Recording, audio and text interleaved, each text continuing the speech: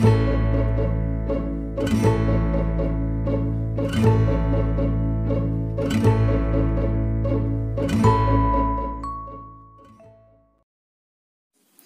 मित्रों, स्वागत है आपका किरण ऑनलाइन स्टडी में और अपना जो क्रैश कोर्स चल रहा है सेकंड ग्रेड के लिए तो उसी में समाजशास्त्र के विभिन्न विचारकों का योगदान पहला जो वीडियो मैंने डाला था, समाजशास्त्र का अर्थ, प्रकृति और परिप्रेक्ष्य के बारे में। तो इसके बाद में ये, उसका दूसरा टॉपिक जो है, वो समाजशास्त्र में विभिन्न विचारकों का योगदान। इसका ये दूसरा वीडियो आपके सामने हाजिर है। और अगर आपने वो वीडियो नहीं देखा है तो डिस्क्रिप्शन में आपको लिंक मिल जाएगी। वहाँ से आप वीडियो देख सकते हैं। और सेकंड ग्रेड का जो क्रैश कोर्स चल रहा है, इसके लिए भी मैं प्ले लिस्ट में भी आपको मिल जाएँगे वीडियो और डिस्क्रिप्शन में उसकी भी लिंक मिल जाएगी। तो शुरू करते हैं दोस्तों।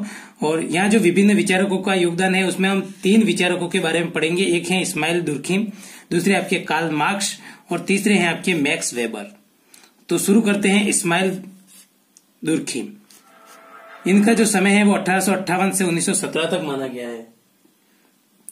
समाजशास्त्र के संस्थापक के रूप में दुर्खीम को कॉम्ट का उत्तराधिकारी माना जाता है। समाजशास्त्र का जनक तो आपको पता ही है, अगस्त कॉम्ट को माना जाता है, लेकिन उनके उत्तराधिकारी के रूप में जो है वो इस इमाइल दुर्खिम को माना गया कॉम्ट ने जिस विषय की नींव रखी, दुर्खिम ने उसे धरातल प्रदान किया। इन्होंने समाजशास्त्र को समाज का अध्ययन करने वाला विज्ञान का है।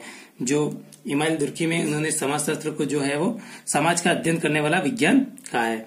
दुर्खिम प्रत्यक्षवाद और विज्ञानवाद में विश्वास करता है। यानी जो है वो प्रत्यक्ष जो अपने सामने है और विज्ञान पर ज़्यादा बल दिया है उन्होंने।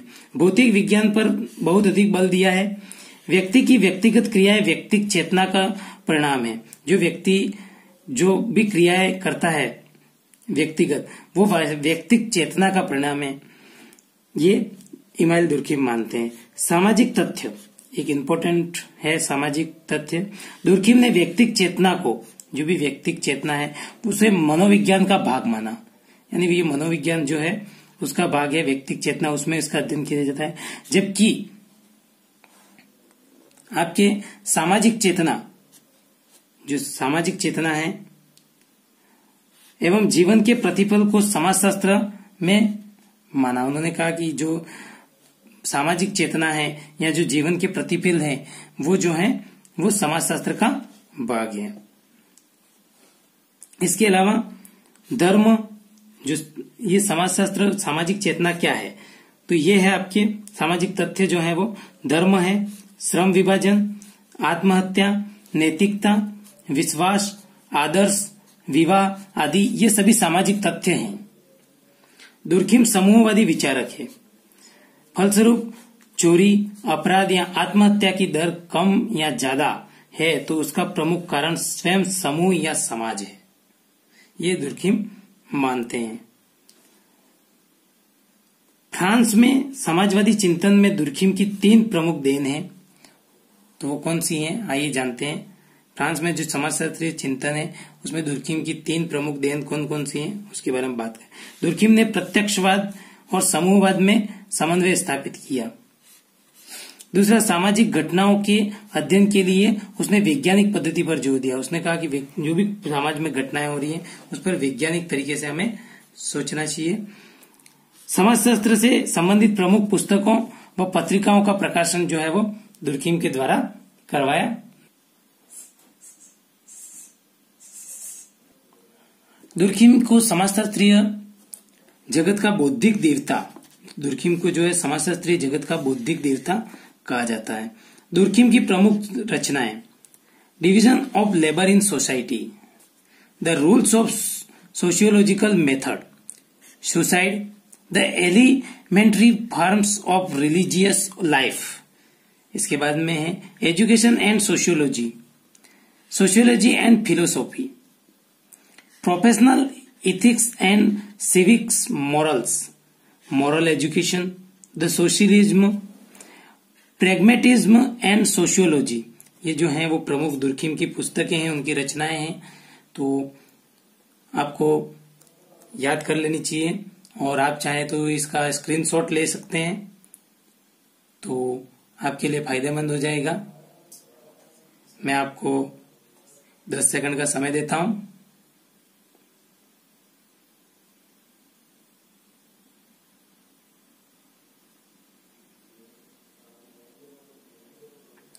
आई होप कि आपने स्क्रीनशॉट ले लिया होगा। इसके बाद बात करते हैं समाज में श्रम विभाजन। तो समाज में श्रम विभाजन के लिए दुर्खिम जो है, श्रम विभाजन को सामाजिक परिवर्तन का प्रमुख कारण मानते हैं। दुर्खिम जो है, श्रम विभाजन को सामाजिक परिवर्तन का प्रमुख कारण मानते हैं। प्रारंभ में श्रम विभाजन लिंग भेद, स्त्री और पुरुष भेद तथा आयु के भेद के आधार पर बालक, युवा और वृद्ध रहा होगा। जनसंख्या के आकार और घनत्व तथा मानवीय आवश्यकताओं की विभिन्नता और वृद्धि ने श्रम विभाजन को जन्म दिया। श्रम विभाजन के जन्म का प्रमुख कारण क्या था? जनसंख्या के आकार में वृद्धि हुई होगी। फिर जनसंख्या घनत्व बढ़ा होगा। मानव की आवश्यकताओं में भी वृद्धि हुई होगी। और जो विभिन्नता थी, इस वजह से जो है, वो आपका श्रम का विभाजन हुआ। पूर्ति के लिए श्रम विभाजन ही एकमात्र रास्ता है। श्रम विभाजन ही समाज में विविध प्रकार की एकता को जन्म देता है। श्रम विभाजन की वजह से ही समाज जो है वो एक रहता है। जैसे कि कोई व्यक्ति अलग अलग जो श्रम जो है वो अलग अलग तरह से कार्य करेगा तो एक दूसरे की आवश्यकता महसूस होगी तो इससे एकता बनी रहती है। प्राचीन समय में श्रम विभाजन लिंग भेद और आयु भेद के आधार पर था।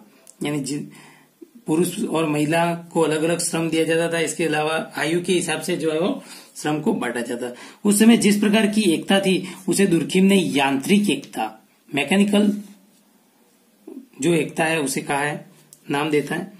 जनसंख्या की वृद्धि के कारण, जैसे जैसे जनसंख्या की वृद्धि हुई, आधुनिक समाजों में जिस प्रकार की एकता पाई जाती है, उसे दुर्खिम सावयवी एकता कहता है। यानी जो वर्तमान में जो एकता है जिस वजह से श्रम का विभाजन हुआ, इसके बाद इसे दुर्खिम जो है वो सावयवी एकता कहता है।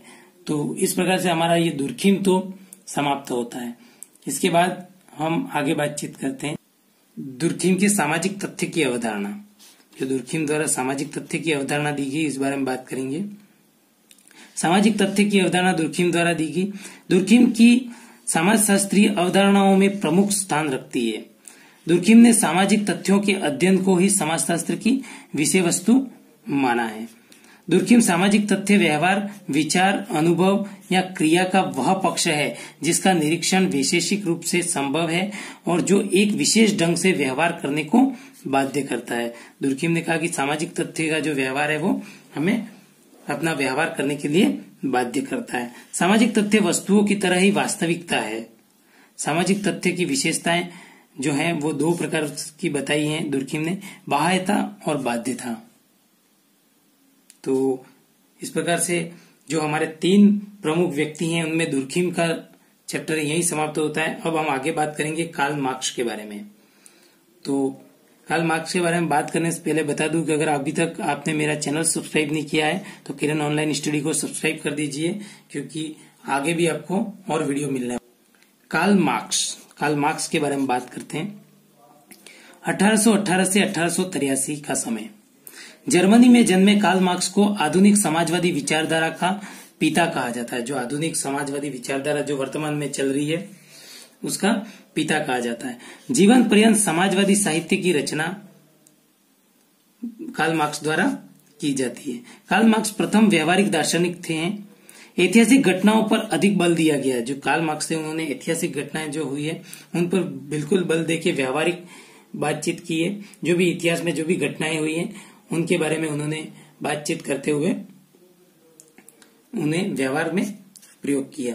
पूंजीवाद के दोषों का वर्णन। जो पूंजीवाद था, उसके काल मार्क्स बहुत ज़्यादा विरोधी थे और उन्होंने जो है, वो समाजवाद के जो था, उसको उसका निर्माण करने के लिए काफ़ी प्रयास किए थे। और वर्ग विहीन समाज की स्थापना हेतु उन्होंने सुनिश्चित प्रक्रिया का उल्लेख किया था।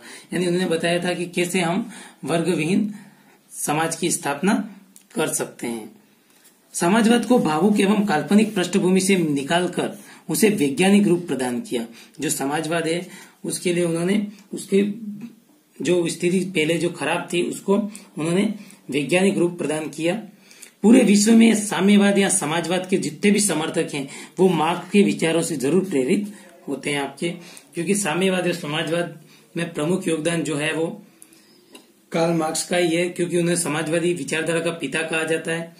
तो मार्क्स को इस कहीं कहीं इस विचारधारा के कारण ईश्वर की तरफ़ पूजा जाता है। तो कुछ लोग उन्हें दानव भी कहते हैं, जो पूंजीवादी विचारधारा के समर्थक है, वो उन्हें दानव मानते हैं। इसके बाद बात करते हैं मार्क्स की रचनाओं के बारे में। तो मार्क्स मार्क्स की प्रमुख रचना है German ideology, the holy family, the poverty of philosophy, the communist manifesto pre capital economic formation. और ये एक अपने भारत के लिए इम्पोर्टेंट बुक्स है the first Indian war of independence. ये अठारह की क्रांति से संबंधित एक बुक्स भी लिखी थी कार्ल मार्क्स ने। इसके बाद capital a critique of political economy, ये तीन खंडों में प्रकाशित है, और इसके बाद है दास कैपिटल। इसके बाद बात करते हैं मार्क्स के प्रमुख सिद्धांतों की। तो मार्क्स के प्रमुख सिद्धांत जो है वो दंधात्मक भौतिकवाद है पहला। दूसरा, वर्ग एवं वर्ग संघर्ष। वर्ग एवं वर्ग संघर्ष का भी उन्होंने सिद्धांत दिया। इतिहास की भौतिकवादी आर्थिक व्याख्या।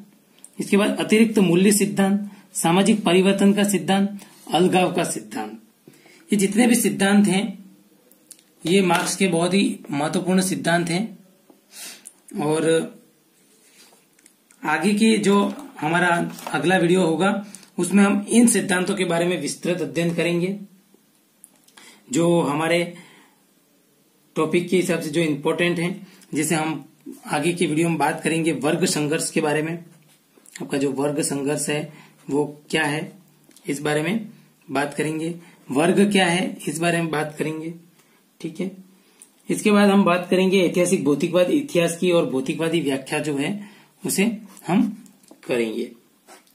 और इतिहास के काल विभाजन की भी बात करेंगे।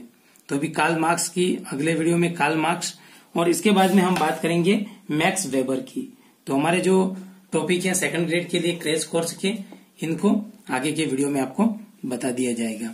तो आई होप कि आपको ये वीडियो पसंद आया होगा और वीडियो को लाइक भी कर दीजिए और शेयर भी करना अपने अधिक से अधिक दोस्तों को क्रेश कोर्स का फ़ायदा मिले और साथ ही साथ अभी तक आपने अगर चैनल किरण ऑनलाइन स्टडी को सब्सक्राइब में नहीं किया है तो सब्सक्राइब कर दीजिए ताकि आपको इसका फ़ायदा मिले और साथ ही साथ वहाँ पे जैसे ही सब्सक्राइब करेंगे आप, एक घंटे का बटन आएगा। उस घंटे को बटन को दबा देंगे।